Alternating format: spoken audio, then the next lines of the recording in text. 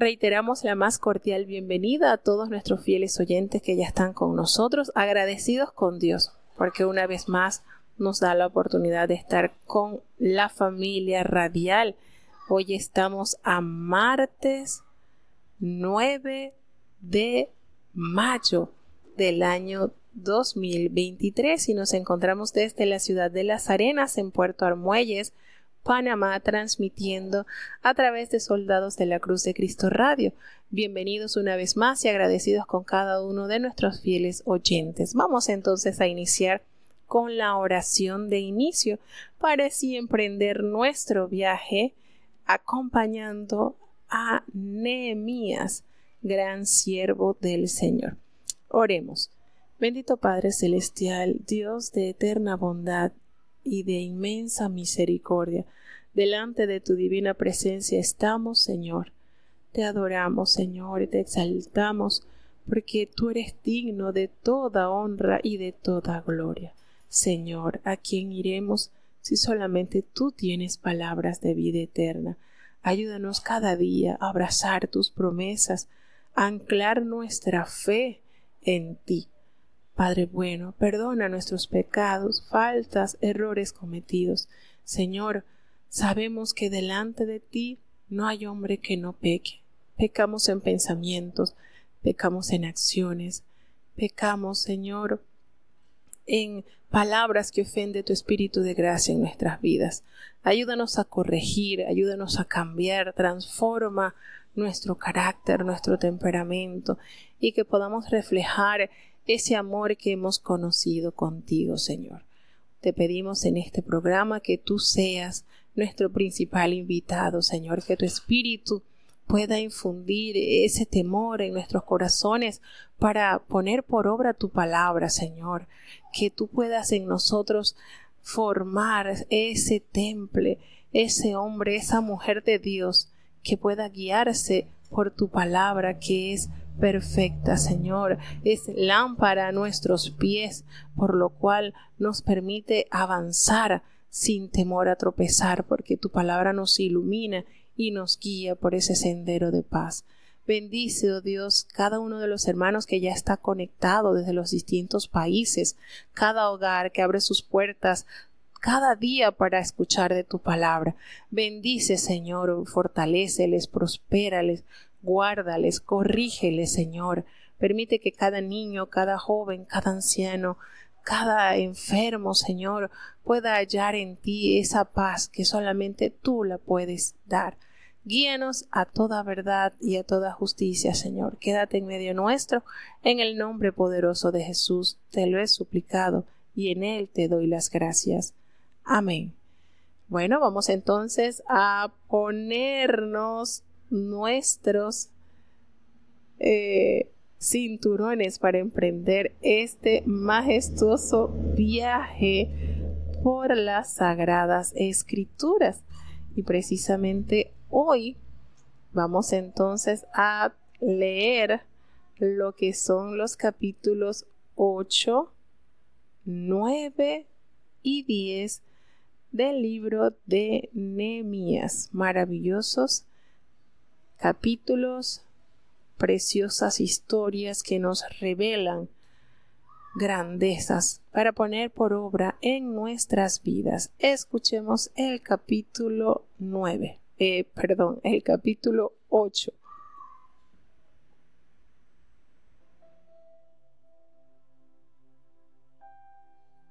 Nemías capítulo 8 Y juntóse todo el pueblo como un solo hombre en la plaza que está delante de la puerta de las aguas, y dijeron a Esdras el escriba, que trajese el libro de la ley de Moisés, la cual mandó Jehová a Israel.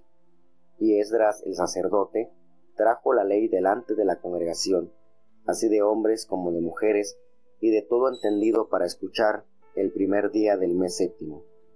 Y leyó en el libro delante de la plaza que está delante de la puerta de las aguas, desde el alba hasta el mediodía, en presencia de hombres y mujeres y entendidos, y los oídos de todo el pueblo estaban atentos al libro de la ley. Y Esdras el escriba estaba sobre un púlpito de madera que habían hecho para ello, y junto a él estaban Matitías, y Sema, y Anías, y Urías, e Hilcías, y Maasías, a su mano derecha. Y a su mano izquierda, Pedaía, Misael, y Malquías, y Asum, y Asdebena, Zacarías y Mesuyam. Abrió pues Esdras el libro a ojos de todo el pueblo, porque estaba más alto que todo el pueblo. Y como lo abrió, todo el pueblo estuvo atento. Bendijo entonces Esdras a Jehová, Dios grande, y todo el pueblo respondió, Amén, amén, alzando sus manos, y humilláronse y adoraron a Jehová inclinados a tierra. Y Jesuá, y Bani, y Serebías, Jamín, Acub, Sabetai, Odías, Masías, Celita, Azarías, Josabet, Anán, Pelaía, levitas, hacían entender al pueblo la ley, y el pueblo estaba en su lugar, y leían en el libro de la ley de Dios claramente, y ponían el sentido de modo que entendiesen la lectura.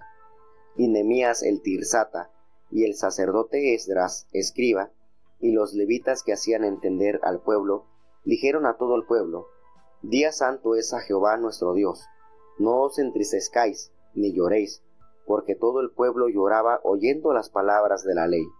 Díjoles luego, Id, comed grosuras y bebed vino dulce, y enviad porciones a los que no tienen prevenido, porque día santo es a nuestro Señor, y no os entristezcáis, porque el gozo de Jehová es vuestra fortaleza. Los levitas, pues, hacían callar a todo el pueblo, diciendo, Callad, que es día santo, y no os entristezcáis. Y todo el pueblo se fue a comer y a beber, y a enviar porciones y a gozar de grande alegría, porque habían entendido las palabras que les habían enseñado. Y el día siguiente se juntaron los príncipes de las familias de todo el pueblo, sacerdotes y levitas, a Esdras escriba, para entender las palabras de la ley. Y hallaron escrito en la ley que Jehová había mandado por mano de Moisés que habitasen los hijos de Israel en cabañas en la solemnidad del mes séptimo, y que hiciesen saber y pasar pregón por todas sus ciudades y por Jerusalén, diciendo, Salid al monte, y traed ramos de oliva, y ramos de pino, y ramos de arrayán, y ramos de palmas, y ramos de todo árbol espeso, para hacer cabañas como está escrito. Salió pues el pueblo y trajeron e hiciéronse cabañas, cada uno sobre su terrado, y en sus patios, y en los patios de la casa de Dios, y en la plaza de la puerta de las aguas, y en la plaza de las puertas de Efraín. Y toda la congregación que volvió de la cautividad hicieron cabañas, y en cabañas habitaron, porque desde los días de Josué, hijo de Nun, hasta aquel día, no habían hecho así los hijos de Israel. Y hubo grande alegría. Y leyó Esdras en el libro de la ley de Dios cada día, desde el primer día hasta el postrero, e hicieron la solemnidad por siete días, y al octavo día congregación según el rito.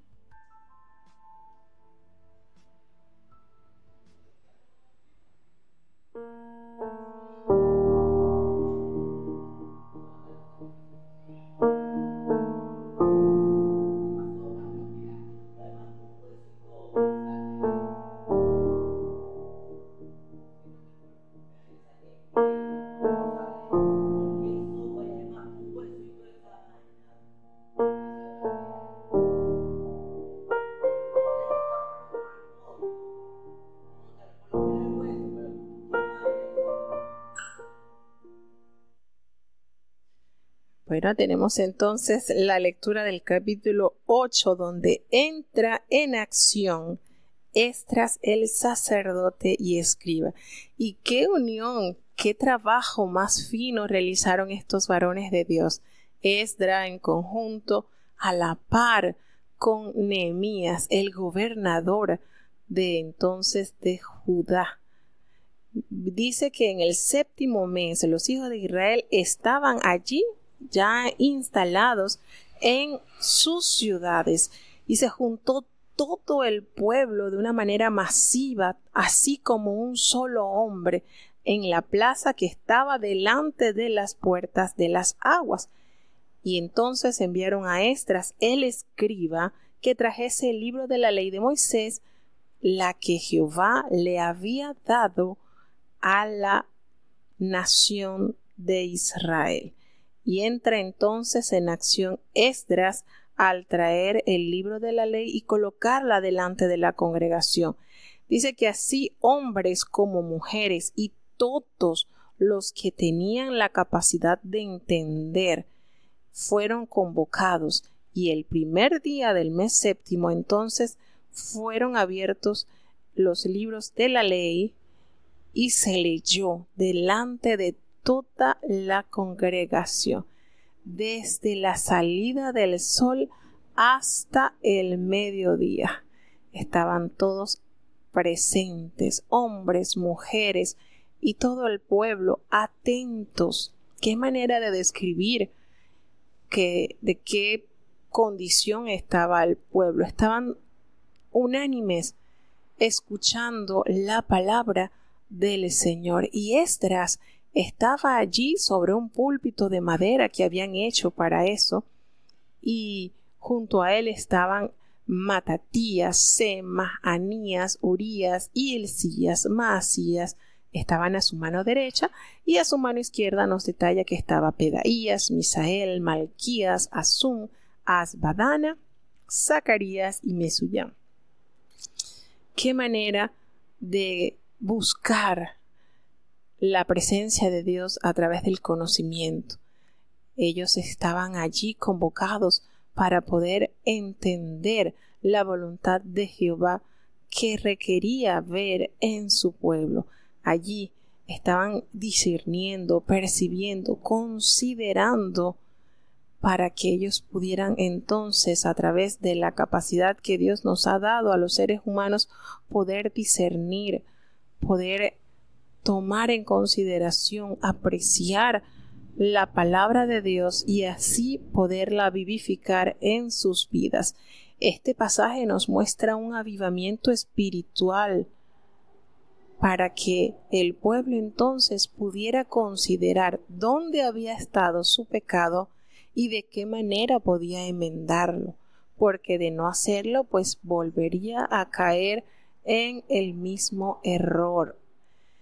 Esdras pues abrió el libro a ojos de todo el pueblo. Todo el pueblo consideró que lo que se estaba leyendo era la ley de Jehová, aquella que fue entregada al pueblo por manos de aquel gran profeta Moisés.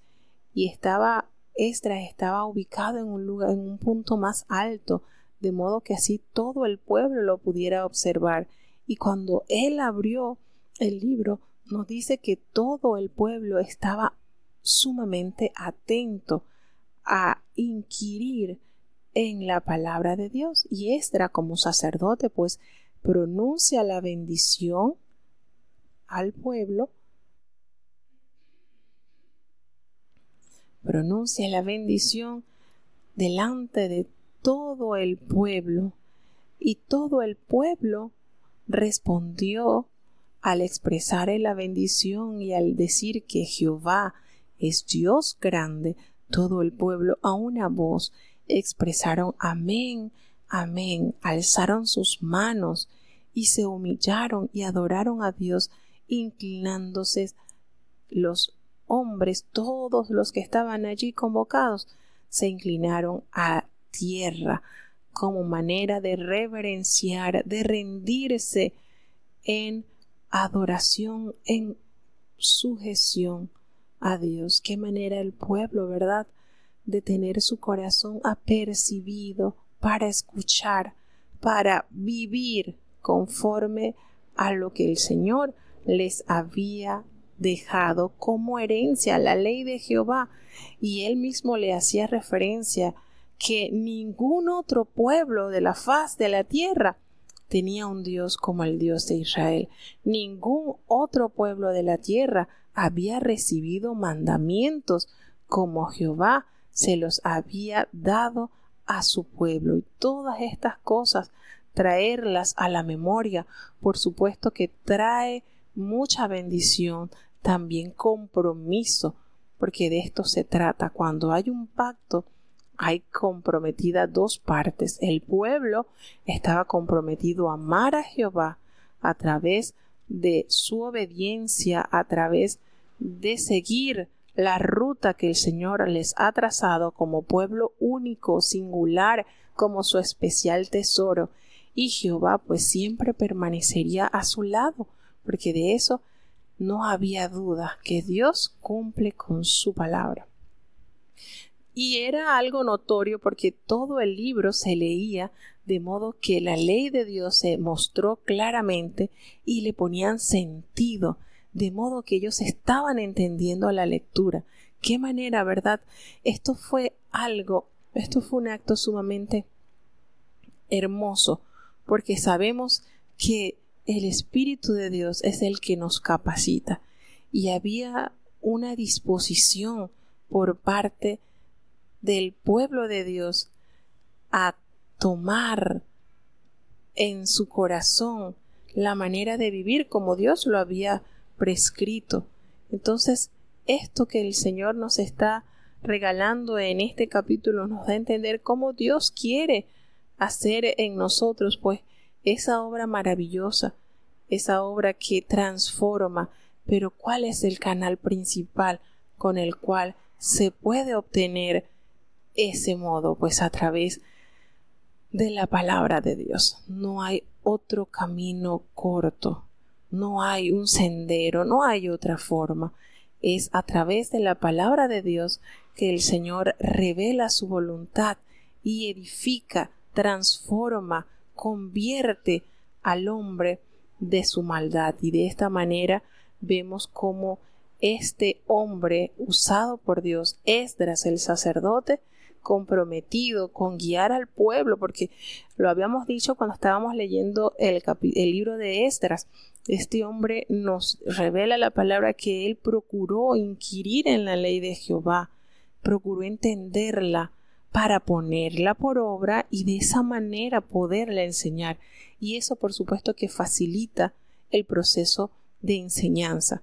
Cuando lo que usted dice en la teoría lo vive en su vida, pues por supuesto que se hace mucho más efectivo. Y esto ayudó grandemente al pueblo, porque vieron en Estra, vieron en Emía hombres de Dios, hombres que pudieron mostrar su fe a través de su vida santa, pía, temerosa a Dios. Entonces, estos hombres, es que Dios todo lo, lo, lo va abordando, lo va, Dios todo lo va tejiendo de una manera especial. Estos hombres, al ser contemporáneos, al tener esa necesidad de que el pueblo de Dios fuese restaurado, fuese dignificado, ellos hicieron un equipo extraordinario ellos trabajaron de una manera tan efectiva que hubo un avivamiento, un mover especial en esa llegada de Babilonia hasta eh, Jerusalén. Entonces vemos los resultados, vemos los resultados de un pueblo que efectivamente estaba dispuesto a tomar en consideración las enseñanzas dadas por este hombre de Dios. Y nos dice que Nehemías, el gobernador, porque aquí se hace mención también de otro Nehemías, pero no es Nehemías el gobernador. Nehemías el gobernador y el sacerdote Esdras escriba y todos los levitas hacían entender al pueblo y dijeron a todo el pueblo, Día santo es a Jehová nuestro Dios. No os entristezcáis, no lloréis, porque todo el pueblo lloraba oyendo las palabras de la ley. Y esto nos da a entender cómo esa palabra penetró en su alma, en su corazón. Esto sucedió así como lo que experimentó Josías cuando le fue leída la, la ley de Jehová, que eh, su corazón se enterneció y lloró y, sufrió y se compungió, se compungió, todos estos sentimientos encontrados. Algo así pasó, pero en esta oportunidad en el corazón del pueblo, al entender cuál era la demanda de su Dios, al entender que lo que ellos habían experimentado en esos años de cautiverio había sido el incumplimiento por parte de los reyes, por parte de los sacerdotes, por parte de los levitas, por parte del pueblo, en haber echado tras sus espaldas la ley de Jehová. Y todo eso causó en ellos ese sentir de humillación. Y por supuesto, esto trae restauración, porque arrepentimiento no es solamente llorar, arrepentimiento implica cambiar. Eso es lo que realmente confirma que ha llegado el arrepentimiento a tu vida. Y cuando recibimos el perdón de Dios, entonces nuestra vida da un giro que dejemos el, la vieja forma de vivir y entra entonces la manera que Dios quiere que sus hijos tengamos. Entonces esto fue algo impactante en el pueblo de en Jerusalén, todo este acontecimiento que se llevó a cabo. Y cuando ellos estaban con ese sentimiento, ¿verdad? De, de, de tristeza, de agonía, quizás Dios les permitió a ellos entender, les abrió el entendimiento y puso a su alcance personas capacitadas por Dios para enseñar con claridad, qué importante, ¿verdad? Con claridad cuál es la verdadera manera de agradar a Dios y lo conocemos a través de su santa y bendita palabra. Y Él les hace una recomendación preciosísima y le dice vayan, coman, beban tranquilos y envíen porciones, compartan a aquellos que no tienen nada preparado, porque hoy es día santo. Esta, esto, esta reunión se hizo entonces en el día del Señor. Y no estén tristes, porque hoy es el día santo a nuestro Dios. No se entristezcáis. Y esa expresión tan conocida, ¿verdad? Que, que hemos escuchado por tanto tiempo en los púlpitos y en las programaciones, porque el gozo del Señor es nuestra fortaleza.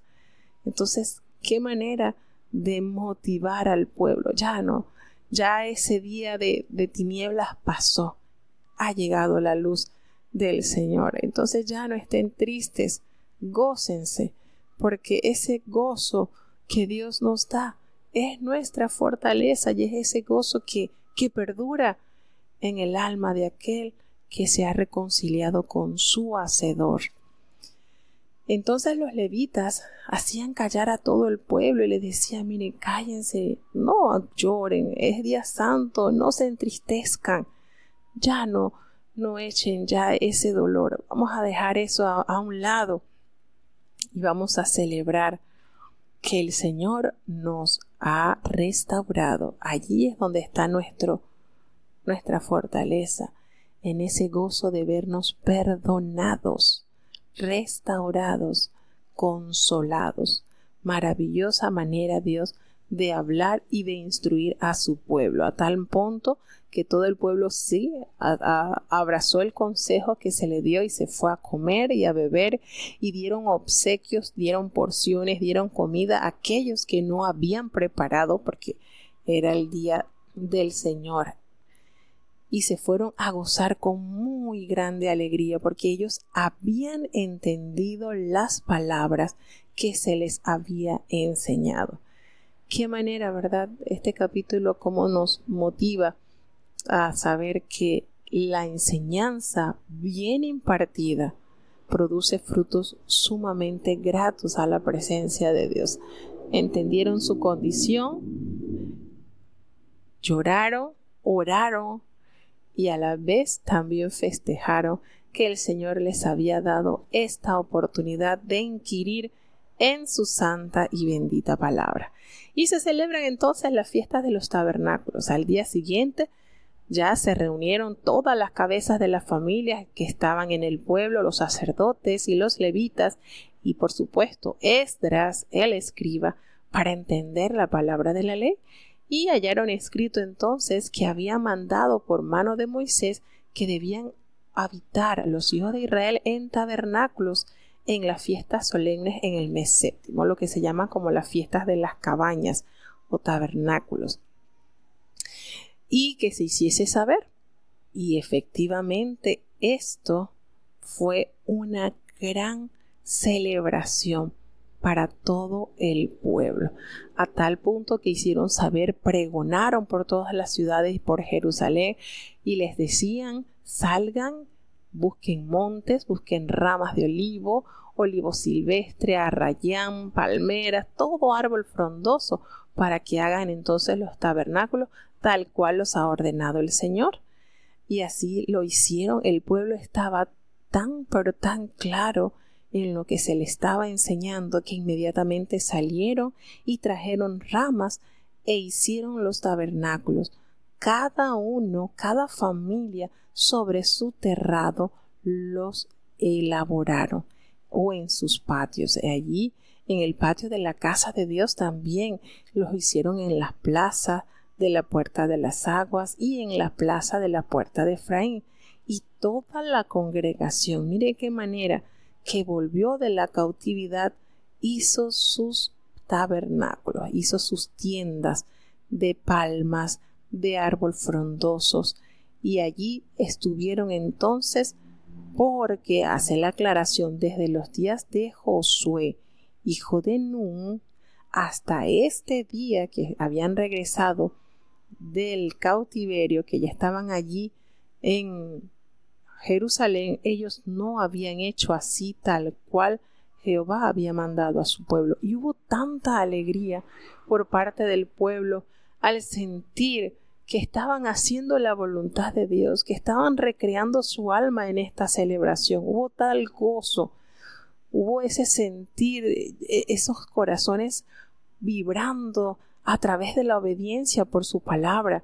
Y Edra les, les leyó el libro de la ley cada día una de las maneras de mantener al pueblo intacto en su fe es que cada día, miren este, esta manera que nos revela el libro de Nehemías, eh, Estras leyó el libro de la ley de Dios cada día, desde el primer día hasta el último día de esta celebración. Ellos hicieron esta fiesta solemne por los siete días como está establecido en el libro de la ley. Y al octavo día, pues fue una solemne asamblea, cumpliendo así lo que el Señor instruyó a su pueblo, escrito en el libro de Deuteronomio, capítulo 31, en Levítico, capítulo 23 y en números 29. Todo esto no fue nada más que poner por obra aquello que el Señor les había ordenado y se regocijó el pueblo en hacer la voluntad del Señor. Eso es lo que pasa en el corazón del creyente cuando entiende la ley de Jehová y cuando se deleita en obedecerla. Hay un gozo, hay un gozo porque sabe que él está obedeciendo a su Hacedor y ese gozo nos mantiene firmes ante cualquier adversidad que se pueda presentar. Así que seguimos avanzando entonces en el libro de Nehemías. En esta oportunidad seguimos avanzando en el capítulo 9. Escuchemos.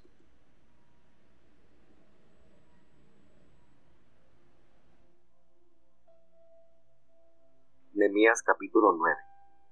Y el día 24 del mismo mes se juntaron los hijos de Israel en ayuno y con sacos y tierra sobre sí y habíase ya apartado la simiente de Israel de todos los extranjeros, y estando en pie, confesaron sus pecados y las iniquidades de sus padres, y puestos de pie en su lugar, leyeron en el libro de la ley de Jehová su Dios la cuarta parte del día, y la cuarta parte confesaron y adoraron a Jehová su Dios.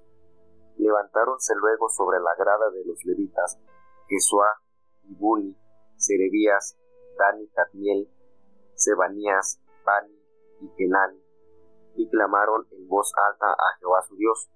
Y dijeron los levitas, Jesuá, Tadiel, Bani, Osapnías, Serebías, Odaías, Sebanías y Petaía, levantaos, bendecid a Jehová vuestro Dios desde el siglo hasta el siglo, y bendigan el nombre tuyo, glorioso y alto sobre toda bendición y alabanza. Tú, oh Jehová, eres solo tú hiciste los cielos y los cielos de los cielos, y toda su milicia, la tierra y todo lo que está en él, los mares y todo lo que hay en ellos. Y tú vivificas todas estas cosas, y los ejércitos de los cielos te adoran. Tú eres, oh Jehová, el Dios que escogiste a Abraham, y lo sacaste de Ur de los Caldeos, y pusístele el nombre Abraham, y hallaste fiel su corazón delante de ti, e hiciste con él alianza para darle la tierra del Cananeo, del Eteo, y del Amorreo, y del Pereceo, y del Jebuseo, y del Jerjeseo, para darla a su simiente, y cumpliste tu palabra, porque eres justo. Y miraste la aflicción de nuestros padres en Egipto, y oíste el clamor de ellos en el mar Bermejo, y diste señales y maravillas en Faraón, y en todos sus siervos, y en todo el pueblo de su tierra, porque sabías que habían hecho soberbiamente contra ellos, e hicístete en nombre grande como este día.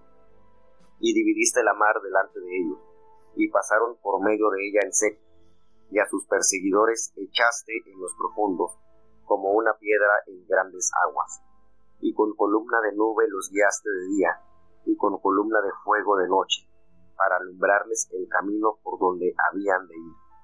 Y sobre el monte de Sinaí descendiste, y hablaste con ellos desde el cielo, y dísteles juicios rectos, leyes verdaderas, y estatutos y mandamientos buenos.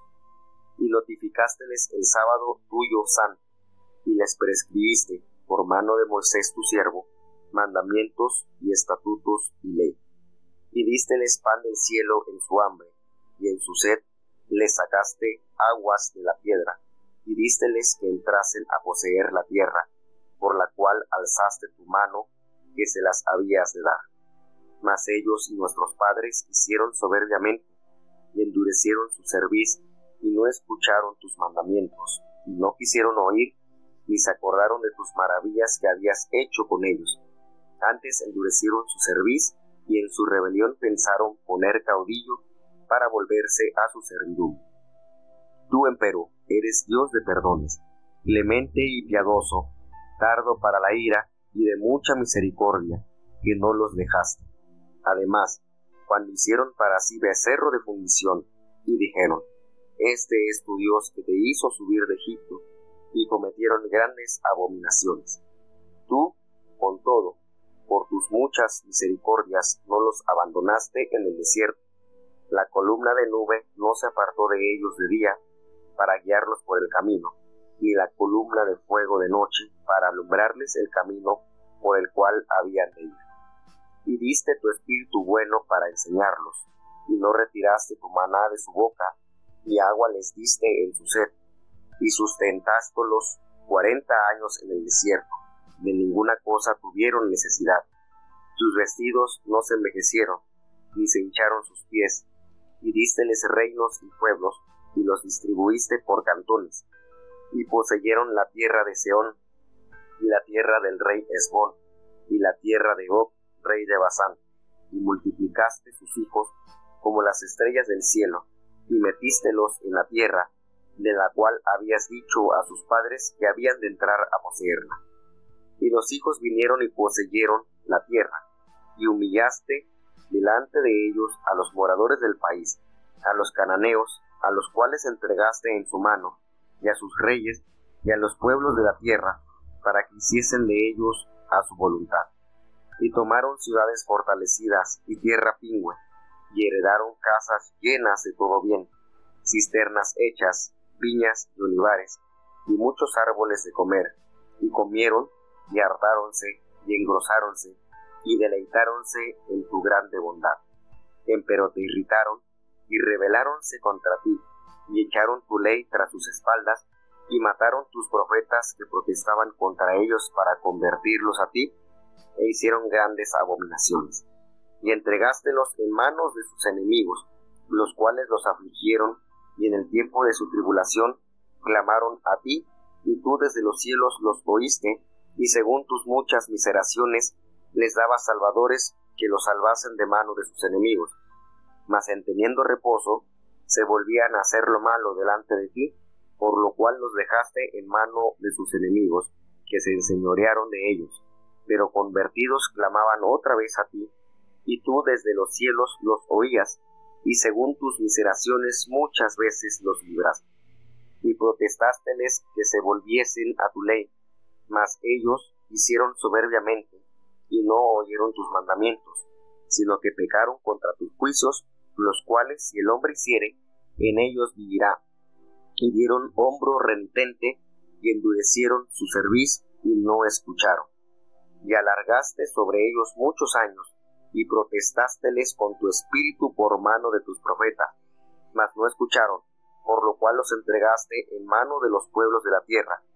Empero por tus muchas misericordias no los consumiste, ni los dejaste, porque eres Dios clemente y misericordioso.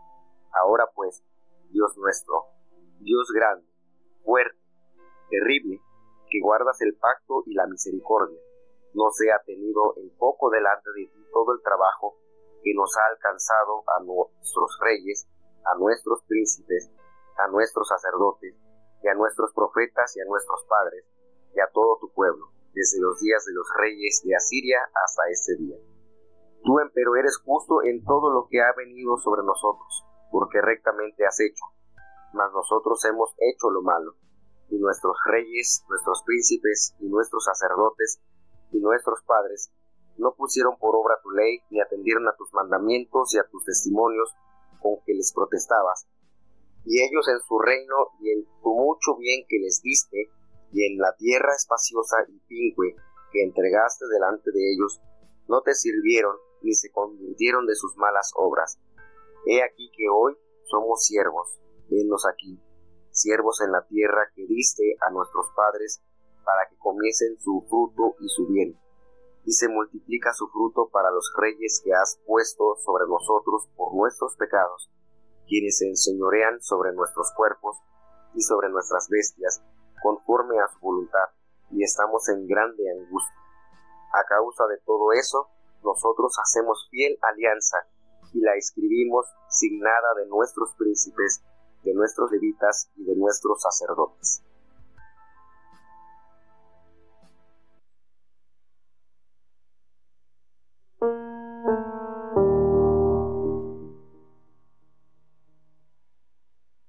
Bueno, gracias a Dios, este capítulo creo que estamos bastante eh, relacionado porque ah, hace algunos años se tomaba también para la lectura en el día santo, en el programa de la mañana.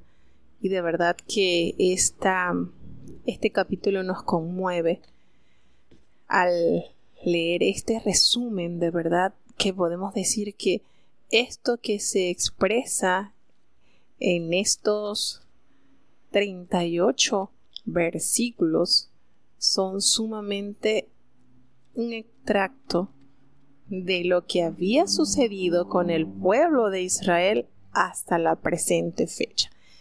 Y es impresionante cómo estos hombres, porque fueron los levitas los que comunicaron al pueblo este resumen histórico. Y me hace mucho recordar, porque ellos inician desde, desde el llamado de Abraham, ellos inician desde que Jehová escogió a Abraham, cuando lo sacó de Ur de los Caldeos y le colocó el nombre de Abraham.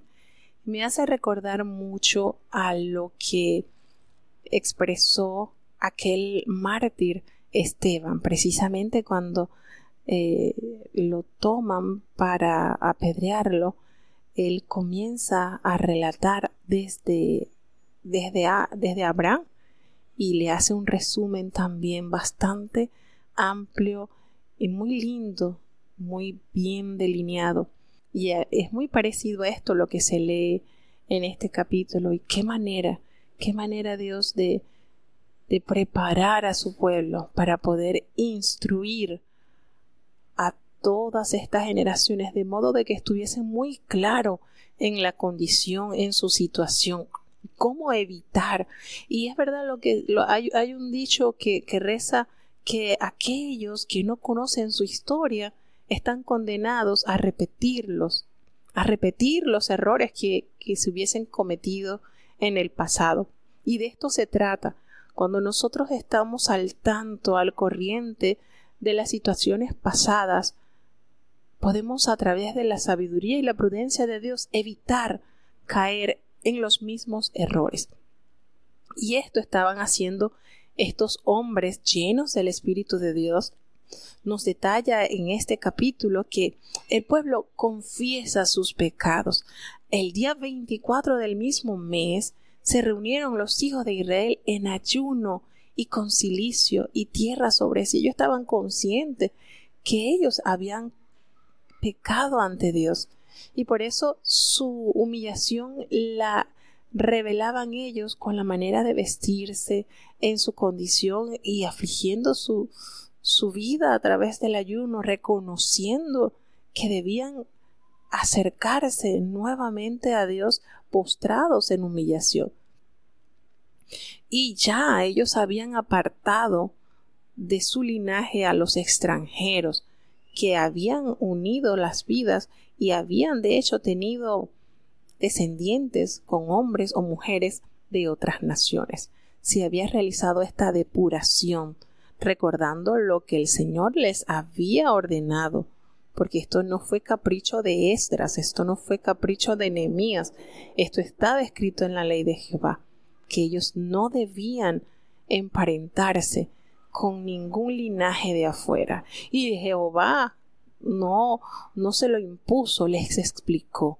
No vas a darle tu hija, ni vas a permitir que tu hijo tome mujeres extranjeras, porque van a pervertir su corazón, porque van a hacerles causa de pecado. Y el Señor que conoce nuestra conducta, el Señor que nos formó y conoce cuál es nuestra manera de ser, nos previene para no cometer equivocaciones, para no errar. Y eso es lo lindo de servirle a Dios, que Dios no es un Dios déspota, que es así porque es así, no. El Señor en su amor, en su ternura, nos da a conocer su verdad, pero nos detalla el por qué no debemos hacerlo. Y eso ha sido desde el principio de la creación del mundo. Él le dio las instrucciones claras a Adán, no vayas a comer de ese fruto porque si tú comes vas a morir. Entonces, no fue que le dijo no vas a comer y punto, ya, el Señor e, en su amor, el Señor es nuestro pedagogo, nuestro, nuestro maestro, Él nos enseña con qué exactitud, con qué pulcritud. Pero si nosotros no preparamos nuestra mente, nuestro corazón, nuestras manos para hacer con cuidado lo que Él nos ordena, entonces vienen nuestros fracasos espirituales. Porque el manual de instrucciones la tenemos al alcance que es su santa y bendita palabra. Entonces, eso sucede cuando nosotros nos creemos sabios en nuestra propia opinión. Y estos hombres se ponen en pie allí en su lugar y leen el libro de la ley de Jehová la a la cuarta, siendo la cuarta parte del, del día, estas personas entonces son convocadas, estaban en ayuno, estaban vestidos de saco de silicio, habían entendido que necesitaban renovar pactos con Dios y ellos allí precisamente en esa condición confiesan sus pecados y se rinden en adoración a Dios. Y entonces se levantan allí sobre la grada estos levitas y detalla que los levitas Jesúa, Cadmiel, Bani, Abzabdías, Serebías, Odías y Sebanías y Petaías les dicen levantaos. Ellos se habían postrado y se levantaos. Bendecida Jehová vuestro Dios desde los siglos hasta los siglos, es decir, desde la eternidad hasta la eternidad y bendigas el nombre tuyo, glorioso y alto sobre toda bendición y alabanza. Y comienzan estos hombres a proclamar, a hacer un resumen de todos los acontecimientos que habían experimentado como pueblo.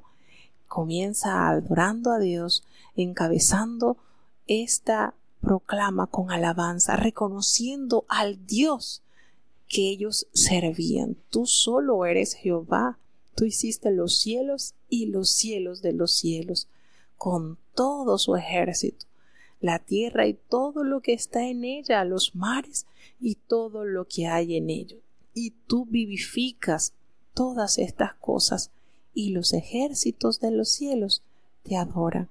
Una manera, un cántico de exaltación a nuestro amado Dios, reconociendo su grandeza, reconociendo su majestuosa obra como es la creación que Dios hizo.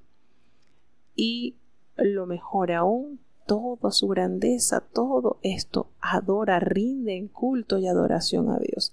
Y comienza entonces esta maravillosa, este, este maravilloso discurso al decir al pueblo que, Señor, tú escogiste a Abraham y lo sacaste de Ur de los Caldeos y le pusiste por nombre Abraham.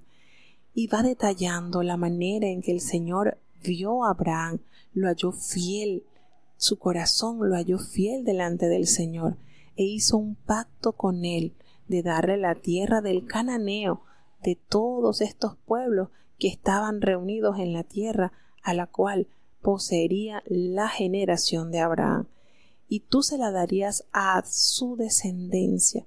Y aquí habla una gran, tanta verdad, y tú cumpliste tu palabra, Señor, porque eres justo y miraste la aflicción de nuestros padres en Egipto, y tú oíste el clamor de ellos allí cuando estaban frente al mar rojo, e hiciste tantas señales y maravillas contra Faraón, contra todos sus siervos y contra todo el pueblo de su tierra, porque ellos habían actuado soberbiamente y te hiciste a través de estos milagros y prodigios te hiciste un nombre grande como este día.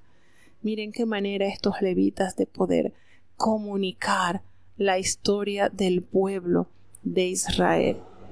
Y no solamente eso, sino que dividiste el mar delante de ellos y ellos pudieron pasar en seco, y aquellos que los estaban persiguiendo fueron sumergidos en las profundidades de la mar como piedras profundas de agua les recuerda de qué manera el Señor los guió esos cuarenta días, por, eh, años por el desierto, a través de una nube que los guiaba en el día para protegerlos de las altas temperaturas, del calor y serles sombra. Y los guiaba esa columna de fuego de noche para darles ese calorcito, porque las noches en los desiertos son sumamente fríos. Y qué manera Dios de ser propicio acuerdo a su necesidad. Les alumbrabas el camino por donde ellos debían caminar. Y después de estos grandes acontecimientos, Él desciende sobre el monte Sinaí y les hablaste desde el cielo y le diste estos juicios rectos. ¿Cómo son las leyes del Señor? Aquí los dice, son verdaderas. En este versículo 13 describe los mandamientos del Señor.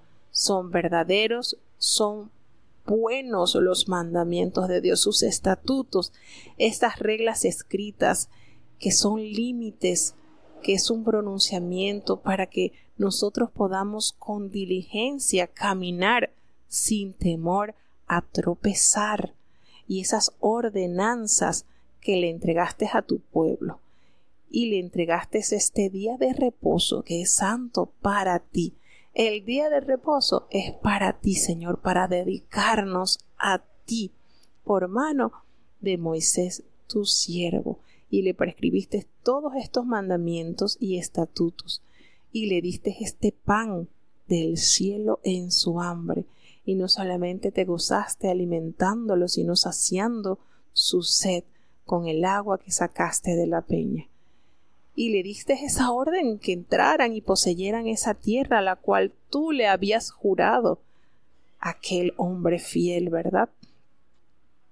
Y nos detalla este, esta, este discurso, cómo ellos fueron soberbios, endurecieron su servicio y no escucharon el mandamiento del Señor, no lo quisieron oír, ni siquiera se habían acordado de las maravillas que el Señor había hecho con su pueblo. Antes ellos pensaron en volver a Egipto y buscaron poner caudillo para regresar a la servidumbre. Y hace el paréntesis este, esta historia cuando dice, pero tú eres tan misericordioso, tú que perdonas, eres clemente, eres tardo para irarte, y con tu grande misericordia no los abandonaste. Además de esto, Señor, cuando ellos hicieron para sí un becerro de fundición y proclamaron que éste era su Dios, el que les había hecho subir de Egipto, y cometieron esta grande abominación, tú con todo, por tus muchas misericordias, no los abandonaste en el desierto. Aún así persistió la columna guiándolos en el día y la columna de fuego en la noche. Qué manera de, de, relatar. Si ustedes se sientan a pensar cómo estos hombres llenos del Espíritu de Dios conmueve con este resumen de la historia del pueblo de Dios. Qué manera ellos de, de hacerles entender que la historia habla.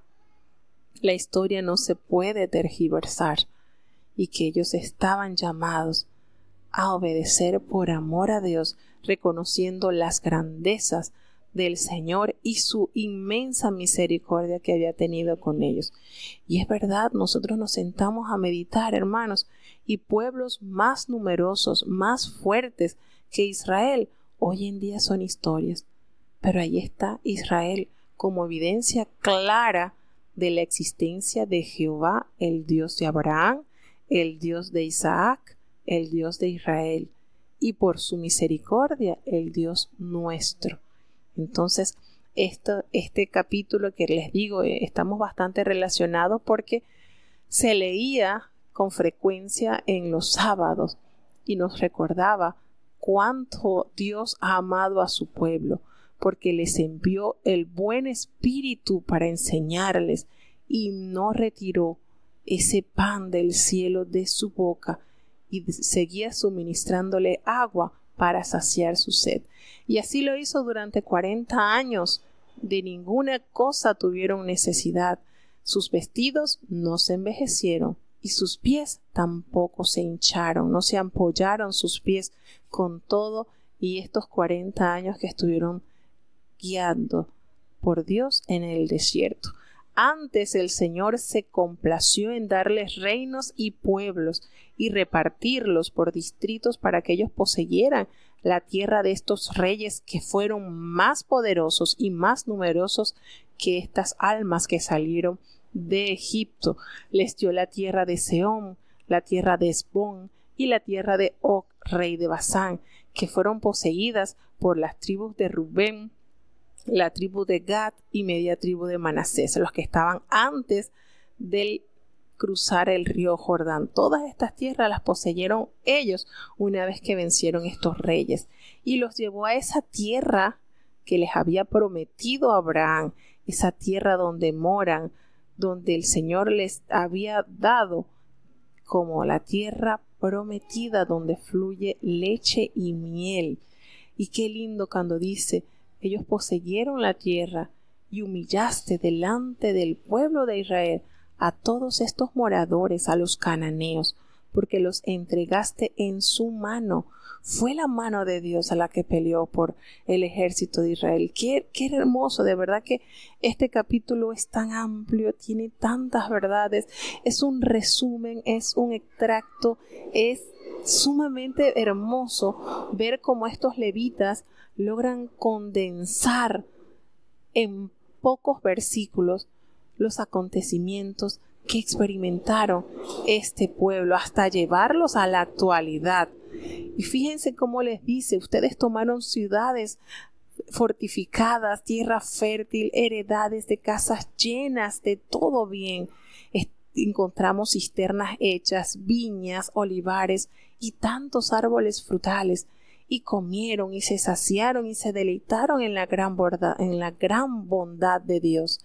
Pero ustedes provocaron a ira, se rebelaron contra Dios. ¿Por qué?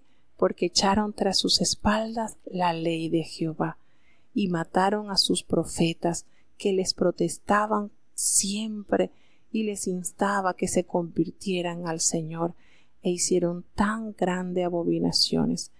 Miren qué manera, y todo esto, por supuesto que esto se corrobora con todos los libros que se han leído.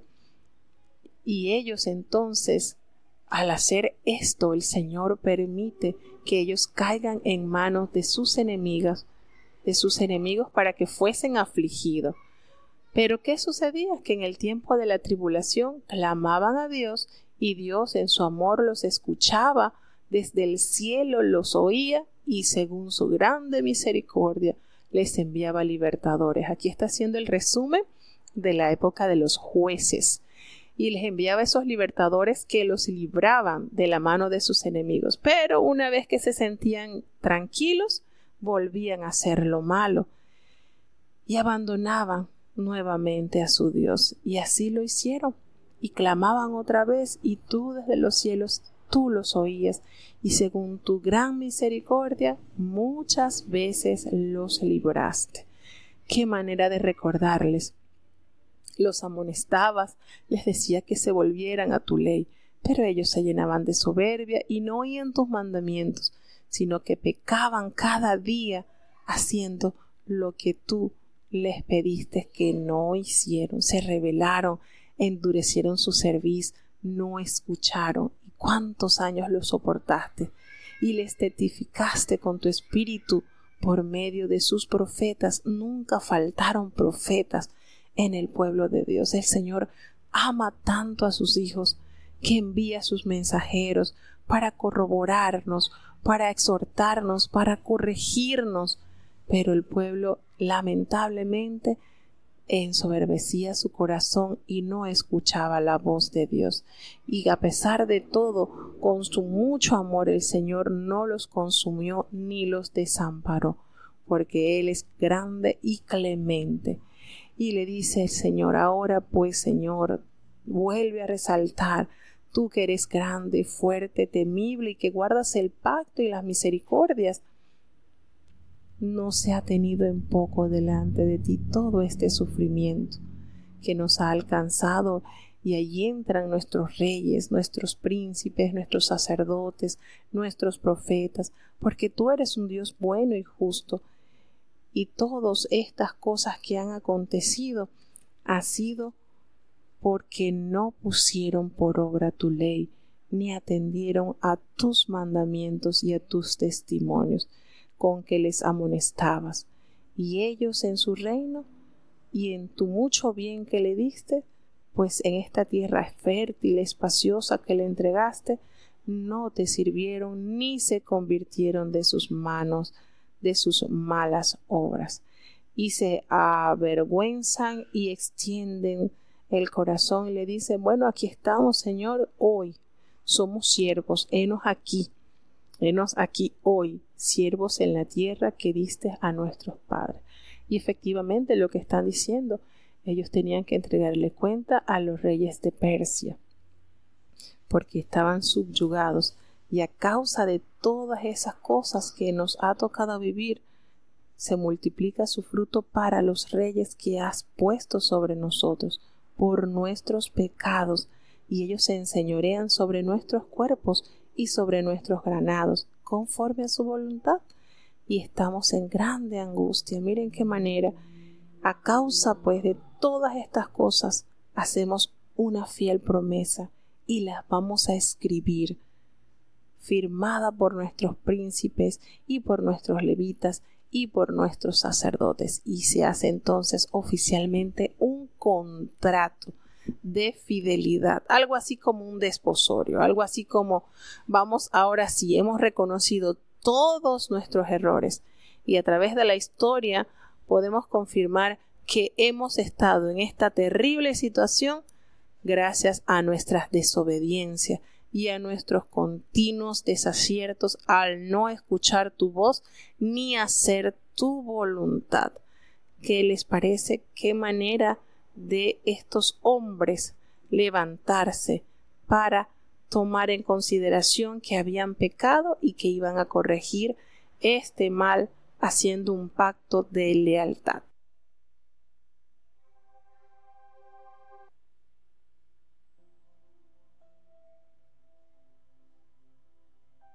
Nehemías capítulo 10 Y los que firmaron fueron Nehemías el Tirsata, hijo de Acalías y Sedecías, Seraías, Azarías, Jeremías, Pasur, Amarías, Malquías, Atus, Sebanías, Mayush, Arim, Meremot, Obadías, Daniel, Ginetón, Baruch, Mesuyam, Abías, Miamín, Masías, Bilhai, Semeías, estos sacerdotes, y levitas, Jesúa, hijo de Asanías, Binui de los hijos de Enadad, Catmiel, y sus hermanos Sebanías, Odaía, Celita, Pelaías, Anán, Mica, Reob, Asabías, Sacu, Serebías, Sebanías, Odaía, Bani, Beninu, cabezas del pueblo, Paros, Pat, Moab,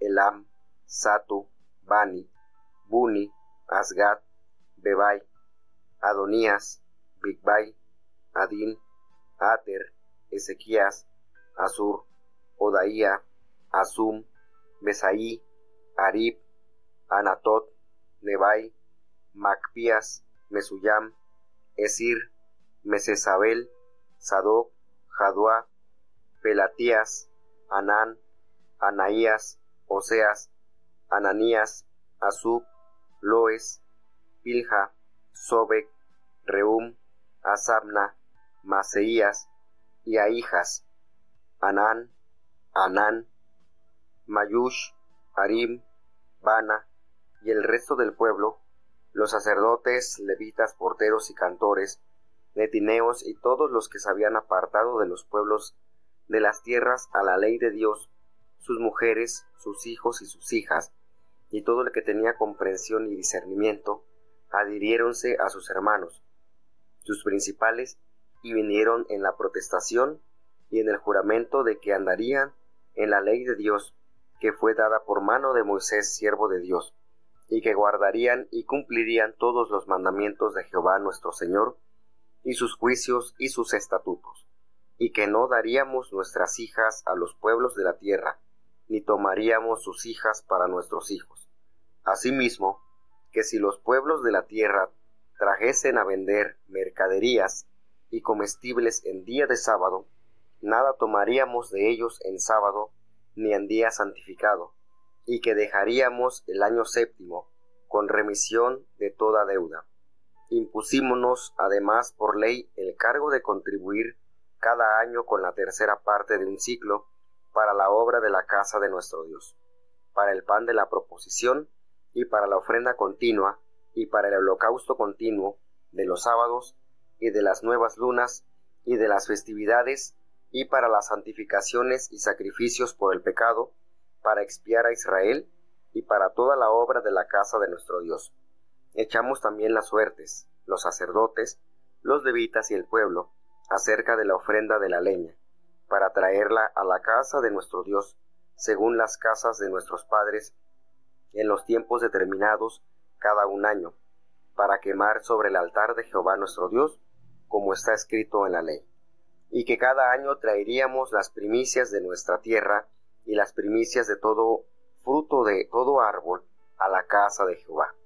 Asimismo los primogénitos de nuestros hijos y de nuestras bestias, como está escrito en la ley, y que traeríamos los primogénitos de nuestras vacas y de nuestras ovejas a la casa de nuestro Dios, a los sacerdotes que ministran en la casa de nuestro Dios, que traeríamos también las primicias de nuestras masas y nuestras ofrendas, y del fruto de todo árbol, del vino y del aceite, a los sacerdotes, a las cámaras de la casa de nuestro Dios, y el diezmo de nuestra tierra a los levitas, y que los levitas recibirían las décimas de nuestras labores en todas las ciudades, y que estaría el sacerdote hijo de Aarón con los levitas, cuando los levitas recibirían el diezmo, y que los levitas llevarían el diezmo del diezmo a la casa de nuestro Dios, a las cámaras en la casa del tesoro, porque a las cámaras han de llevar los hijos de Israel y los hijos de Leví la ofrenda del grano, del vino y del aceite,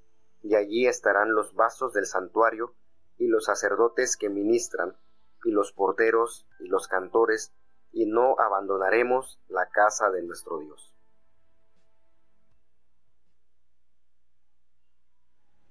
Bueno, yo creo que podríamos decir que hasta aquí podríamos cerrar el ciclo de este pueblo que retornó de la cautividad y diríamos, bueno, se comprometieron tan severamente en ser fieles a Dios que no se conformaron solamente con pronunciarlo de manera oral, esto hicieron un documento, redactaron e incluso firmaron y están los nombres de los firmantes de este pacto, algo sumamente serio. ¿Y quiénes fueron los que firmaron? Bueno, Nehemías el gobernador, el primerito allí, que estuvo allí atento como como un líder dando el ejemplo, el primerito allí que firmó el gobernador. Y así firmaron todos estos hombres cabeza de familia. Y todo el pueblo, los sacerdotes, los levitas, todo esto, hicieron un compromiso, pues se habían apartado de estos pueblos y habían vuelto a la ley de Dios y habían dejado entonces a sus mujeres y sus hijos todo esto que contaminaba el linaje santo, desecharlo, porque precisamente por incurrir en el pecado, vino la tragedia al pueblo de Dios. Por estos pequeñitos detalles, de repente uno diga, bueno, pero es que eso y tanto que nos dice la palabra de Dios, esas pequeñas zorras, esas cosas, esos animalitos pequeños que a veces ni se pueden ver con, con mucha frecuencia, pero están. Esas cositas pequeñas son las que van a dañar esa siembra que ha hecho Dios en tu plantío. Ahí, eso, tú no puedes permitir. Entonces hay cosas que van minando, que van minando y el enemigo, como dice por ahí, no se le, no, no necesitas que le abras la puerta. Déjale solamente una endijita, algo pequeñito. No, no tienes que abrirle la puerta. Déjale una endijita para que tú veas que por allí se va a filtrar en tu vida hasta minar tu alma y sacarla para destrucción, porque eso es lo que sencillamente Él hace, robar, matar, destruir. Todas estas son las funciones que hace. Y eso fue lo que pasó con el pueblo de Dios.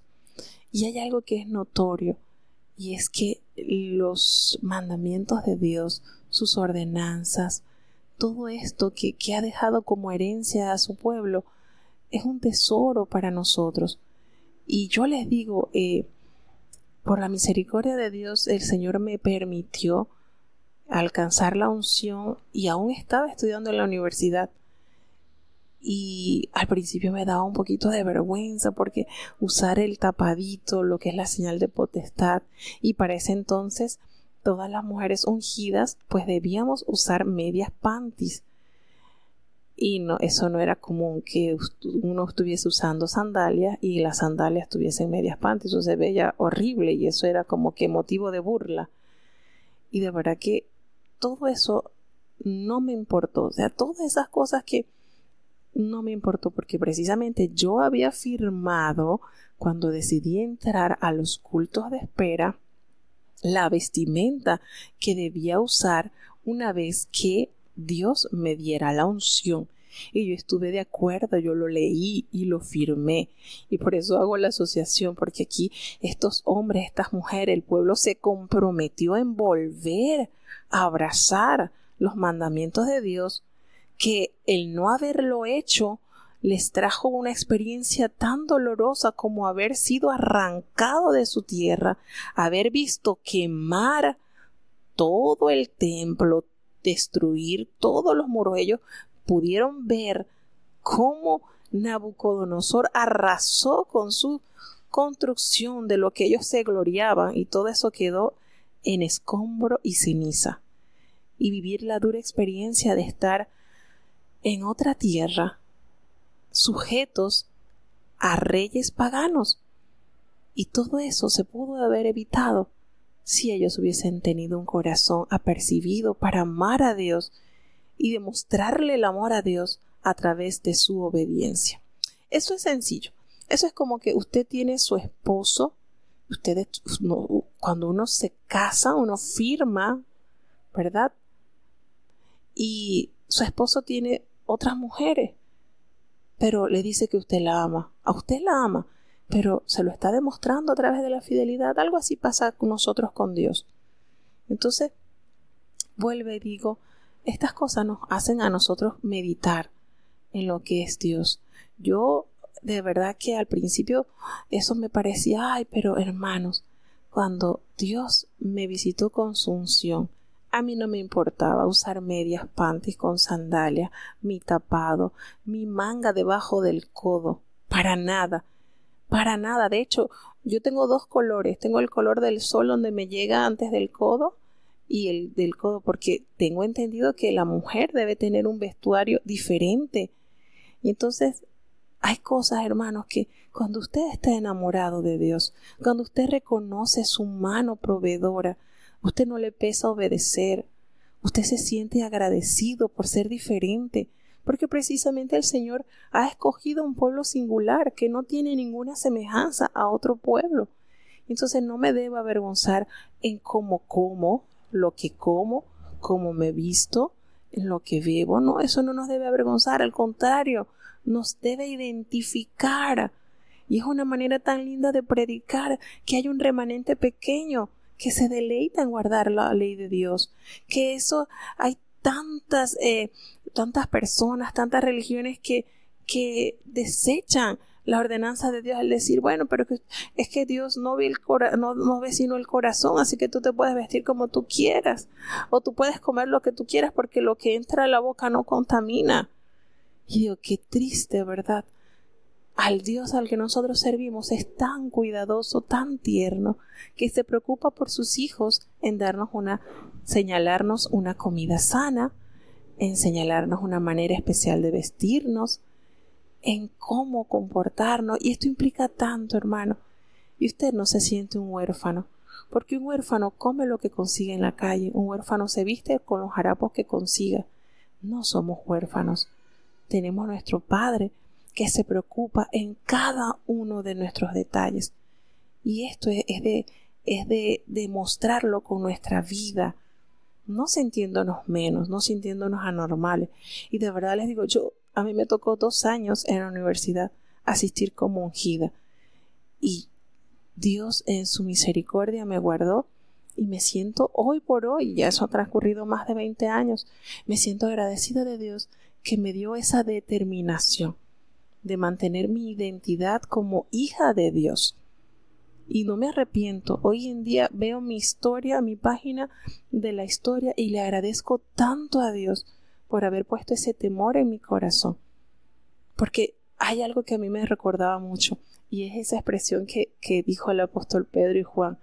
Juzguen ustedes a quién es mejor obedecer, si a los hombres o a Dios. Y eso yo lo entendí y para mí pues me es más importante obedecer a Dios antes que la ley de los hombres. Cómo se vistan, cómo hacen, cómo eso no, para mí no es importante. Para mí es importante lo que Dios piense de mí, no lo que la sociedad piense de mí. Ay, que pareces una vieja, que pareces disfruta de la vida. Para mí eso no es importante en realidad. Entonces, cuando usted reconoce a dónde ha sido llamado y quién lo llamó, usted de verdad que valora, que valora cada uno de los estatutos, de las ordenanzas de Dios, y usted, lejos de sentirse anormal, usted se siente tan feliz por no pertenecer a ese montón que van desbocados al pecado y que el Señor en su misericordia nos trajo con ese callado y nos guía con esa vara, porque las ovejas conocen la voz de su pastor y le obedecen. Así que siéntase privilegiado porque usted ha identificado la voz de su buen pastor y le obedece.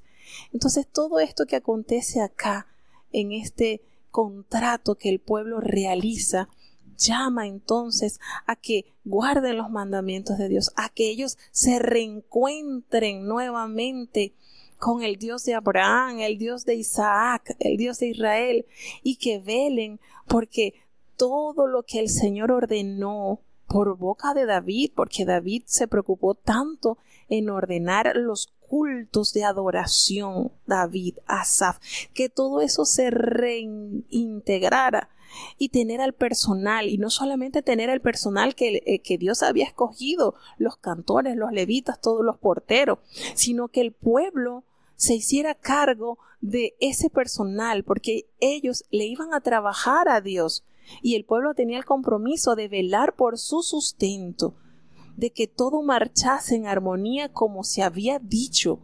Entonces todo esto que trae, trae una gran bendición. Esto trae una gran bendición porque realmente ellos tienen, al recordar el pueblo todo lo que ellos habían cometido sus errores, sus desaciertos, haber resistido hacer la voluntad de Dios que es agradable y perfecta. Entonces ellos promulgan todo este acuerdo firmado, porque como dice por ahí, lo que no se escribe se olvida. Y entonces, sencillamente, ellos necesitan volver a la ley de Dios, apegarse al plan, porque de esa manera sabrán que no volverán a sufrir una experiencia tan terrible como la que tuvieron ellos que experimentar por la desobediencia. Entonces, todo esto se abordan, se abordan puntos sumamente importantes.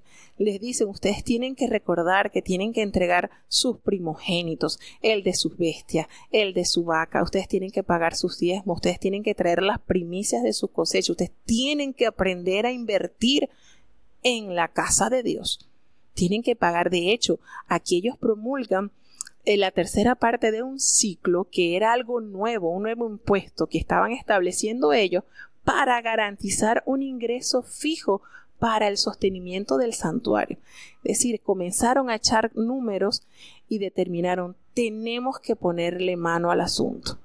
Esto no puede solamente quedar en un avivamiento temporal, no, debemos velar porque el personal que el Señor ha escogido, por el personal que, que han llamado el Señor para que ministre, estén felices sirviendo, pero ustedes como pueblo tienen el compromiso de ayudar a que esto funcione bien.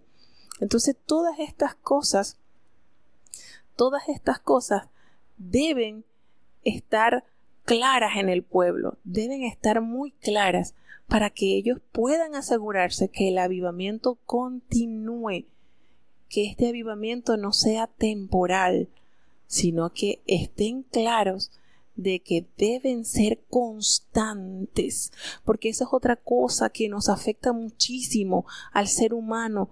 Tendemos a ser inconstantes. De repente va a iniciar el año que viene y hacemos un pacto con Dios que vamos a ayunar todos los sábados, que vamos a leer la Biblia, que vamos a hacer las devociones y comenzamos así. Pero cuando ya llega febrero ya se nos acabó el emocionismo y ya pero no, en nosotros debe haber eso constante, eso que, esa cita que nosotros tengamos con Dios.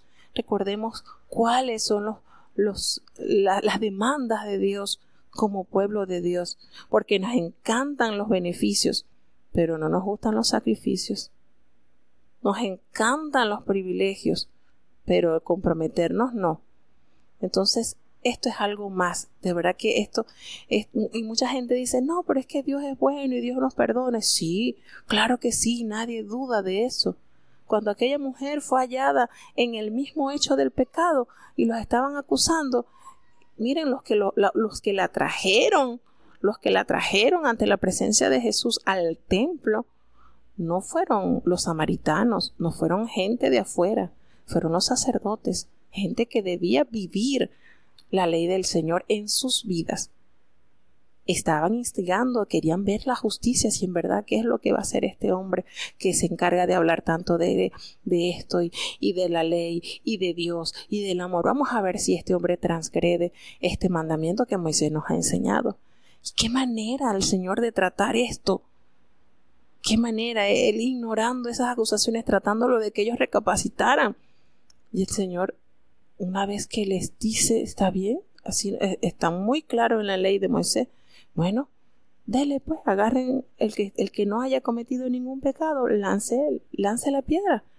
Y es sorprendente, porque todos, desde el mayor, desde el más anciano hasta el más chico, habían, eh, eh, se hicieron un, escaneo, ran, y en ese escaneo recordaron cuántos pecados habían cometido quizás ese día o el día anterior o la semana.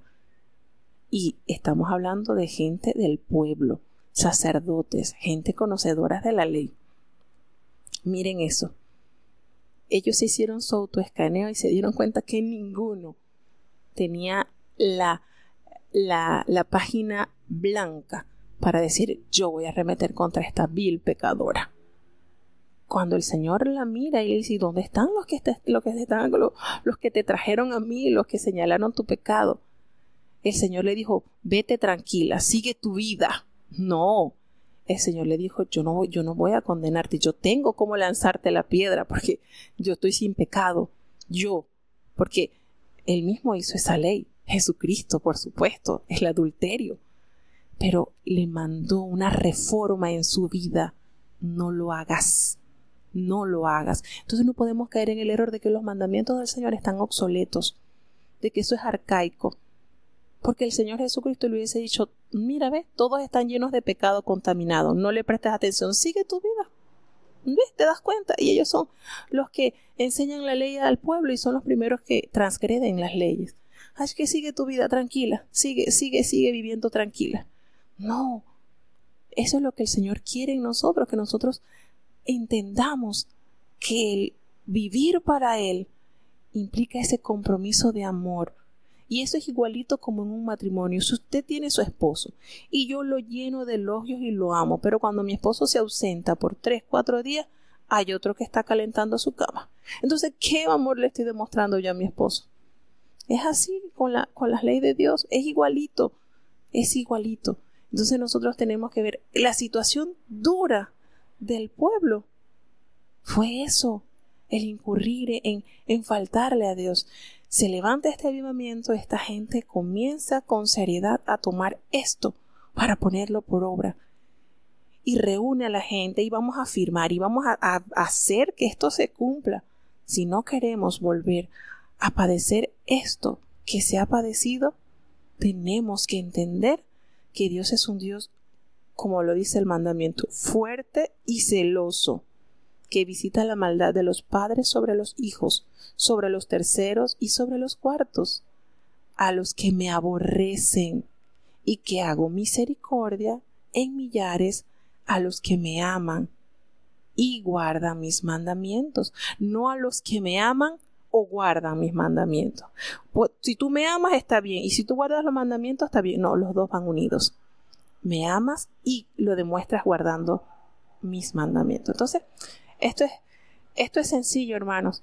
Si amas a Dios, el Señor Jesucristo lo dijo, si me amáis, guarda mis mandamientos. Más nada. Entonces, así se puede resumir. El pueblo de Dios entendió dónde había fracasado y estaba dispuesto a remendar, a arreglar, a ver cómo mejorar este error. Así que bueno, hasta aquí hemos llegado con los tres capítulos de Nehemías. Mañana, con la ayuda de Dios, seguiremos emprendiendo el viaje con Nehemías, el gobernador, y nos despediremos mañana de Nehemías. Muy, muy bueno, de verdad, todo lo que nos enseña este libro trae riquezas sumamente amplias. Vamos entonces a despedir con la oración final para saludar a nuestros fieles oyentes que están con nosotros allí desde temprano, pues tenemos varias conexiones de Estados Unidos, de Panamá, de Venezuela, de Chile, de México, de Cuba, de Alemania. Entonces vamos a saludar a nuestros oyentes, vamos a despedir con la oración final para darle nuestros queridos saludos a toda nuestra fina audiencia que cada día nos motiva a seguir viajando. Ustedes son el combustible de este viaje. Si ustedes no están presentes, entonces no despegamos. Pero gracias a Dios porque están con nosotros para seguir emprendiendo cada día el viaje por las sagradas escrituras. Oremos. Bendito Padre Celestial, Dios de eterna bondad, de rica y de abundantes misericordias, delante de tu presencia estamos, Señor. Te adoramos y te exaltamos, Señor, Creador del cielo y de la tierra. Padre bueno, gracias Señor, porque innumerables son tus misericordias, Señor. Cada mañana se renuevan en nuestras vidas. Perdónanos, Señor, porque sabemos que no hay hombre que no peque. Pecamos en pensamientos, pecamos en palabras, pecamos en acciones, Señor. Muchas veces la duda invade nuestro corazón. Y esto no es agradable a ti, Señor. Ayúdanos cada día a cambiar. Transforma nuestras vidas, Señor, con el poder de tu palabra, porque a través de ella tú santificas a tus hijos como lo dice tu palabra, Señor, santifícalos en tu verdad. Tu palabra, Señor, es verdad. Ayúdanos cada día a creer, a confiar, a vivir para ti, Señor, porque sabemos que en medio de ti, Señor, tú anhelas tener a tu pueblo santo, ese pueblo puro que vendrás a buscar. Ayuda, oh Dios, a cada familia, a cada país que está conectado con nosotros. Tenemos conexiones de Estados Unidos, Señor, cada oyente que está allí. Tú conoces su corazón, sus necesidades, sus carencias. Permítele que puedan afirmarse en tus promesas, Señor, que puedan confiar cada día más en tu palabra, que vivifica, que alumbra nuestros pasos y nos permite caminar sin temor, a tropezar, porque si tu palabra alumbra nuestros pasos, sabemos que podemos llegar seguros. Bendice a cada oyente que está desde Panamá, desde México, desde Chile, desde Alemania, desde Venezuela, desde Cuba, Señor cada oyente, Padre, cada persona que cada día se conecta para escuchar de la palabra, Señor, que puedas hacer una obra especial, porque sabemos que tu obra se realiza a través de tu palabra, pues no regresa a ti vacía, sin antes hacer aquello para lo cual la has enviado, Señor. Gracias por cada niño, cada joven, cada anciano, cada enfermo, cada matrimonio, Señor, que se conecta día a día para escuchar de ti. Bendíceles, fortaléceles, llénales, guíales, Señor. Todo te lo hemos pedido en el dulce nombre de tu Hijo amado Cristo Jesús. Y ahora te pedimos, Señor, que el bendito amor de Dios, la gracia y la paz de nuestro Señor y Salvador Jesucristo, la compañía y comunión de tu Espíritu Santo, quien es nuestro gran consolador, sea con cada uno de tus hijos, nos guarde desde ahora y para siempre. Amén.